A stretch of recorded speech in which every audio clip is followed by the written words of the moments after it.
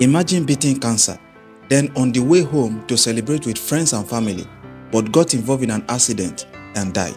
That was the case of this woman.